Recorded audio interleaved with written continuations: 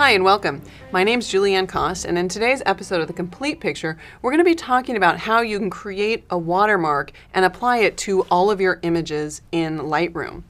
So there's a there's a variety of ways you can do this. If you simply want to add some text, that's very very easy to do, and we'll take a look at that method in a minute.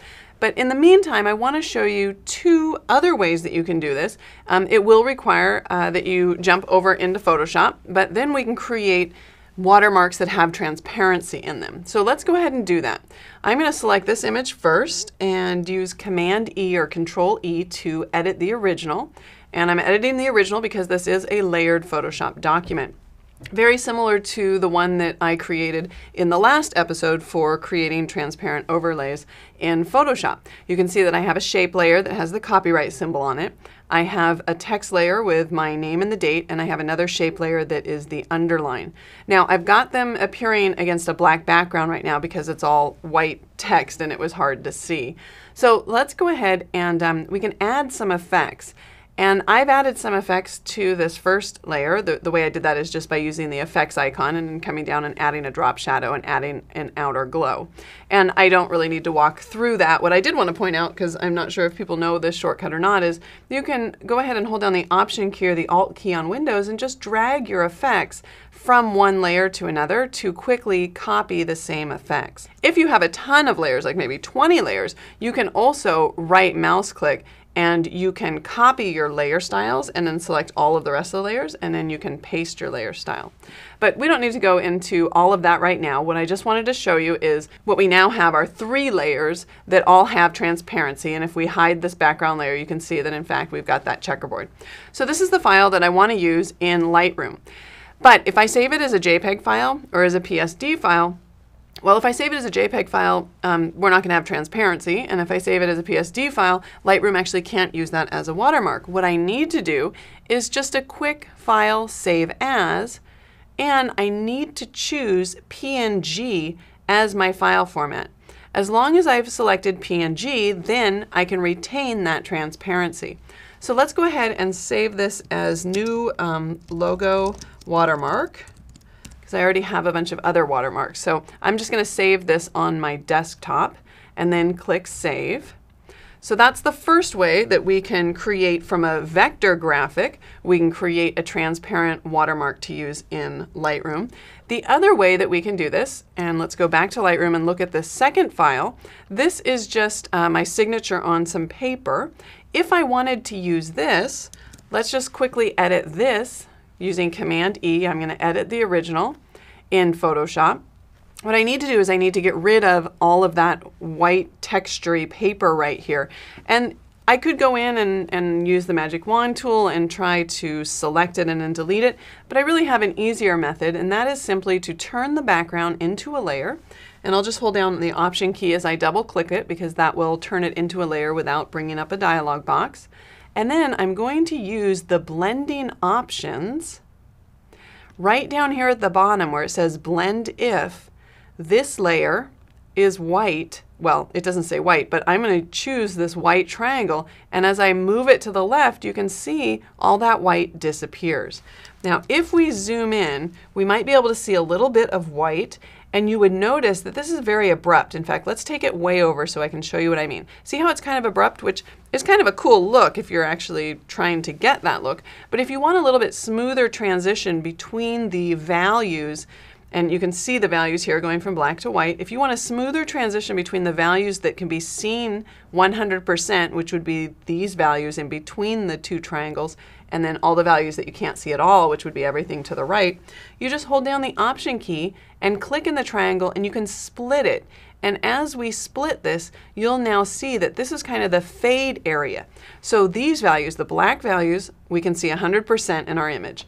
These areas going from dark gray to kind of your midtones, we're now slowly hiding those values as they get lighter. And then anything on the right hand side of this triangle, we can't see at all. So that's kind of a nice way to um, make the transition between what you can see, the black, and what you can't see, these values here, a little bit softer. All right, so I would just do that and then save this file and we could save this image as a PNG as well. And we'll just save it to the desktop as PNG. Oh, I can tell by the list of formats that this is a This is actually a 16-bit image. Doesn't really matter, but I don't need it as 16-bit. It's nice that Photoshop gives me the ability to save as a PNG as well as a JPEG file, even though the file formats don't actually support 16-bit. So I'll click Save, click OK again, and let's head back to Lightroom. Okay, now the great thing in Lightroom is that no matter what module you want to use the watermarking in, if you set up a watermark it's going to be available in all of the modules. So whether you're exporting files, whether you're using a published services, whether you're in slideshow, print, or web, they can always access the same list of watermarks. So it doesn't matter where you set it up. Probably the easiest place is just under the Lightroom menu on the Mac or under your Edit menu on Windows. Just come down to Edit Watermarks. So the first option, this watermark style, I mentioned in the very uh, introduction of this that you could just add any text. It doesn't have to be a graphic. You don't have to use a graphic. Oh, this is a little weird that it's showing me this on my signature. Hold on. I'm going to cancel and click just on a different image. That way, when we go back into Lightroom into Edit Watermarks, we'll be able to see the watermark on the image, and it's not as confusing. So here, I've got my style set to text, and that's why we just have some text right here. And we could, we could write anything we want. We could write all rights reserved anything you want, and that just becomes a very simple text watermark. And we can change the inset. So if I wanted to move it in a little bit and lift it off the bottom, I could kind of move it into the image. I can anchor it from a variety of different locations. I can go ahead and rotate this if I want to make it appear, you know, on the left or right side and kind of have it be um, scrolling up the side. I can change the size. Right now I have it proportional, but you could change it to fit or fill. And we can change the opacity as well if we just want to make that a little bit more subtle.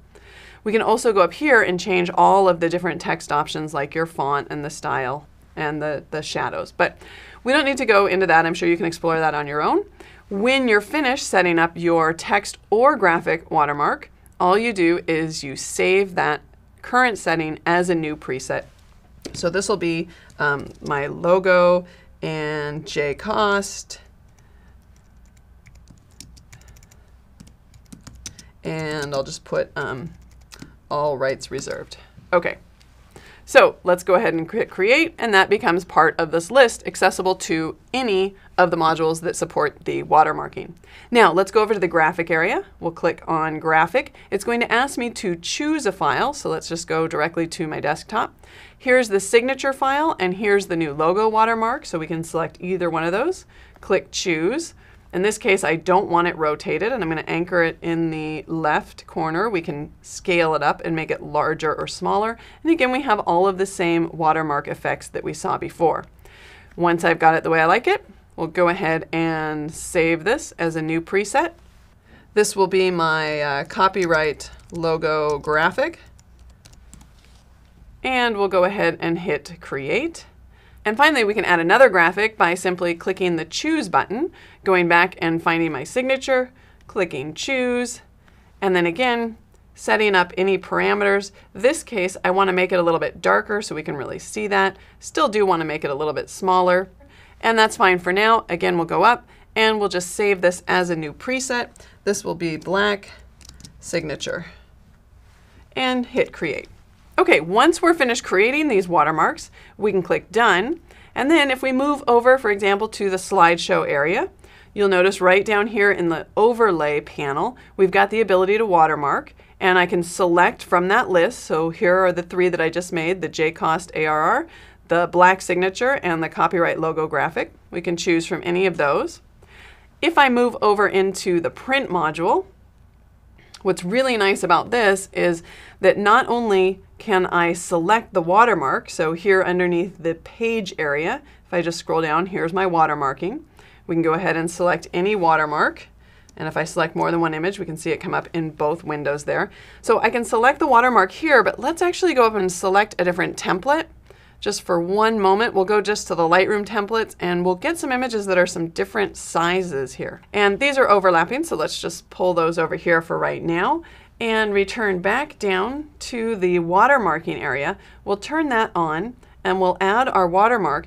And you can see, well, it's rather faint here. Let me pick one that's a little bit stronger. Because I set up the watermark to be proportional on the larger images, I've actually got a larger watermark than I do on the smaller images. And the same thing will happen in the web module.